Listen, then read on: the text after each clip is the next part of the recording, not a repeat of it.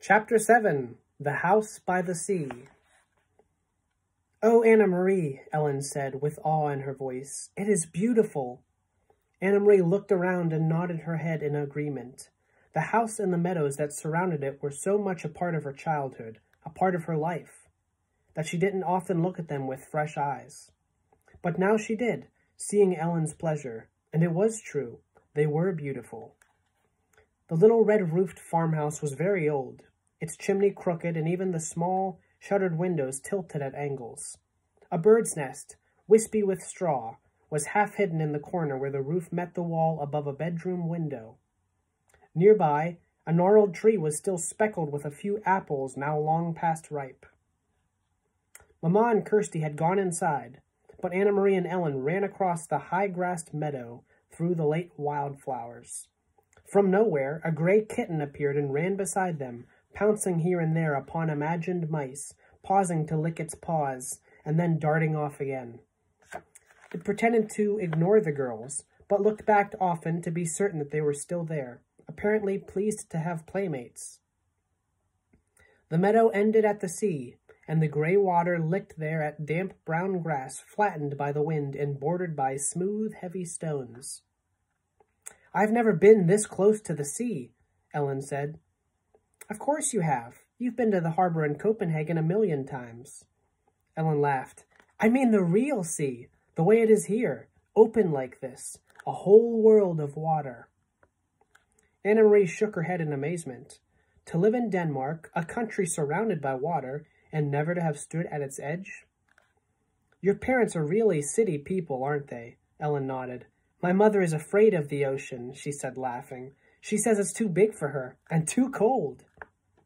The girls sat on a rock and took off their shoes and socks. They tiptoed across the damp stones and let the water touch their feet. It was cold. They giggled and stepped back. Annemarie leaned down and picked up a brown leaf that floated back and forth with the movement of the water. Look, she said, this leaf may have come from a tree in Sweden. It could have blown from a tree into the sea and floated all the way across. See over there, she said, pointing. See the land way across there? That's Sweden. Ellen cupped one hand over her eyes and looked across the water at the misty shoreline that was another country. It's not so very far, she said.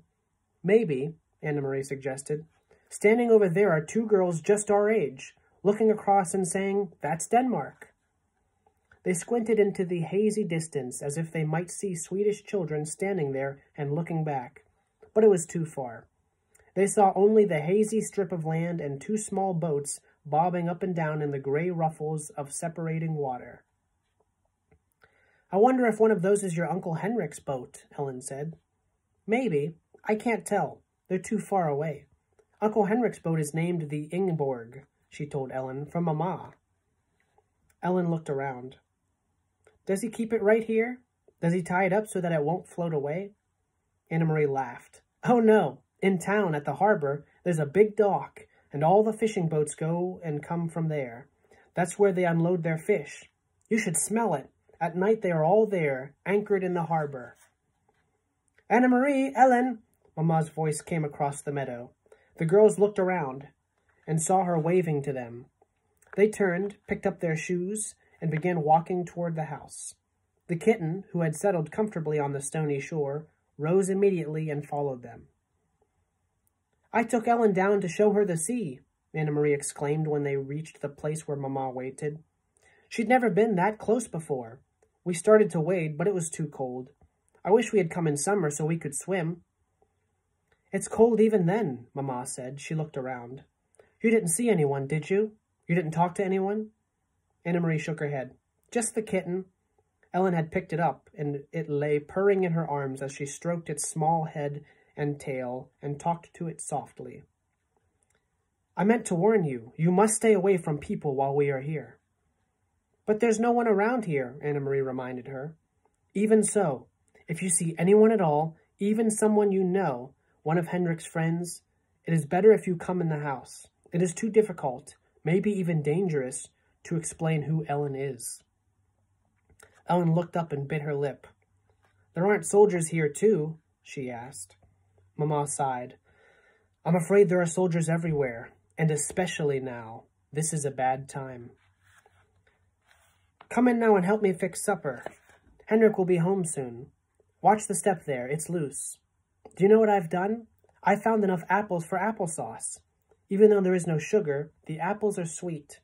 Henrik will bring home some fish and there is wood for the fire, so tonight we will be warm and well fed. It is not a bad time, then, Annemarie told her. Not if there is applesauce.